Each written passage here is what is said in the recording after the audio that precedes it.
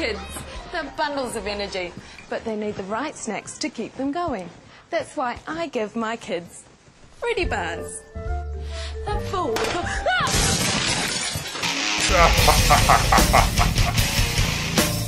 What's happening guys? It's Shane here. So in this video, we're gonna be breaking down the fastest growing jobs that are making at least $100,000 a year. So these are gonna be jobs that not only pay really well, I mean six figures a year is really good, but they're also going to be jobs that are growing really quickly and therefore there's going to be a lot more opportunity. And generally when you see careers like this where there's a lot of demand and a lot of opportunity, everything else is good with the career as well. You'll have a lot more job flexibility. You'll have a lot more job satisfaction because of that. And the best thing of all is you'll have a lot more free free time to destroy the evil YouTube algorithm by smashing like. No, for instance, if you want to spend more time with your family, you would be able to take a small pay cut, work a few less hours, and still make a pretty good salary. And as you're gonna see, a lot of these jobs have a few things in common that you can look for in any job, any career, any industry, and these will indicate whether it's a good opportunity or not. Number 10 on the list is going to be Computer and Information Systems Manager. Now with this one, you're gonna make around $146,000 a year, and there's going to be an 11% growth rate, which is much faster than average average. And they basically plan, coordinate, and direct computer-related activities in an organization. So this is a perfect example of combining two very valuable skills. And in this particular case, it's going to be technology, which is an extremely hot skill right now. I talk about it all the time on this channel. And then it's also going to be leadership. So if you become an expert at just one of these two things, you'll probably be pretty good to go. But if you become an expert at both of these things, technology and leadership, your skill set is going to be coveted by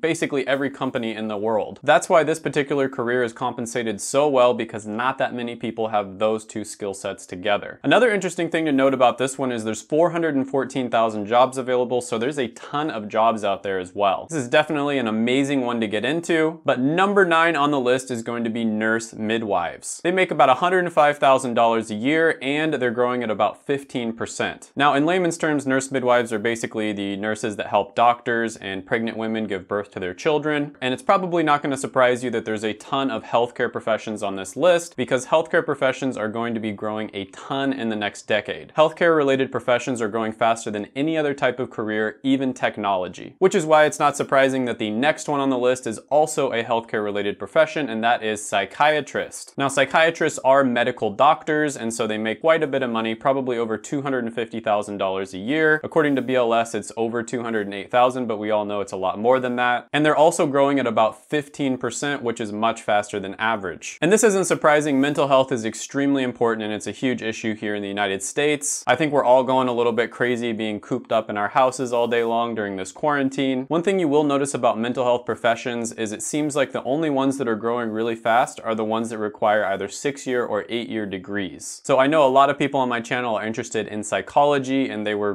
devastated when I put it as one of the most worthless degrees. But if you're willing to do a six year or an eight year degree, it can still turn out pretty well. Next one on the list is going to be a financial manager. Now they're making around $129,000 a year and they're growing at a really healthy 16%. There's also over 650 jobs available out there, so you probably won't have to move anywhere to start your career. Now, financial managers generally deal with all the finances in an organization. And this is another really good example of combining two different skills that put together work extremely well. Someone who's an expert on finance and also an expert in leadership. You combine them together and you get a financial manager. It's rare for someone to know a lot about both of these things. And so when you combine those two things together, companies just love that. Number six on the list is going to be computer information and research scientists. They make around $122,000 a year and it's growing at about 16%. Now the downside to this one is it does require a master's degree or a six year level degree to get into it generally. And then on top of that, there's only about 31,000 jobs available or so. And this is a career where you can be extremely innovative in how an organization uses their technology. Overall, this is still a really good one to get into, and I guess this is kind of just my personal opinion, but I see this one getting more and more important in the future. I guess you could kind of say that this is combining the skills of extreme creativity with computer science and technology. And that's a pretty rare skill set to have. It's kind of like someone who can use both sides of their brain. And so if you can do this, I think companies are going to absolutely love you. Number five on the list is going to be a medical and health health services manager. They make over $100,000 a year and they're growing at over 18%. There's also over 400,000 jobs available and it only takes a bachelor's in order to get into this one. And they basically plan, direct, and coordinate the activities of all healthcare systems. And this is another example where you're combining different skill sets. In this case, you could even argue that it's three different skill sets because you've got leadership, healthcare, and then also technology. And so you can see why this one is so highly coveted because not that many people have all of those different skills. Number four on the list is going to be actuaries. They make about $108,000 a year and they're growing at an outstanding 20% clip. And they basically use mathematics, statistics, and different financial theories to analyze risk and benefit. And this is an example of combining two different skill sets, which is basically business and mathematics. Now for my research that I did, you do have to take a series of extremely hard tests, and a lot of the time that'll actually take years for you to get all of those tests out of the way. But once you've got all of those tests down, you can make even more than what's listed on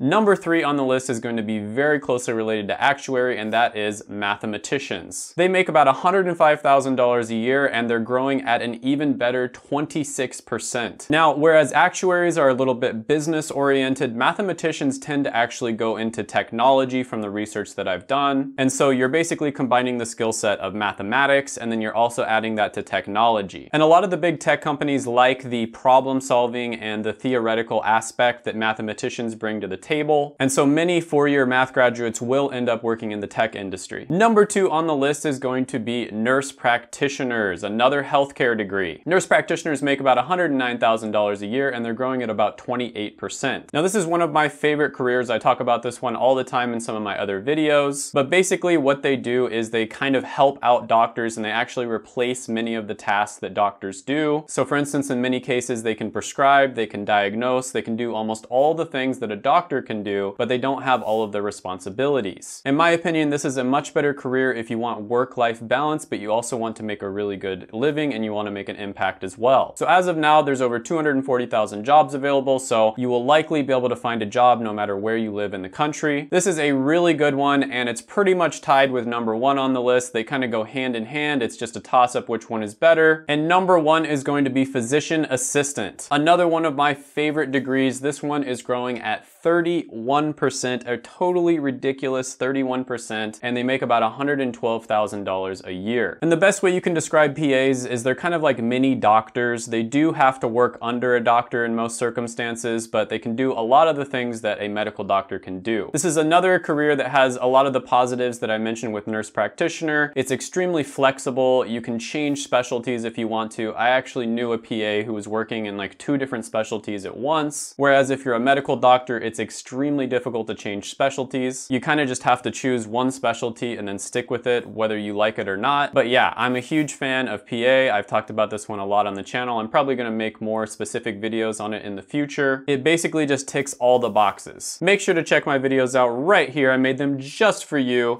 Go ahead, smash the like button, hit the subscribe button, ring the notification bell, and then comment down below any thoughts, comments, criticisms, etc. that you have on the video. Thank you so much for watching and bye for now.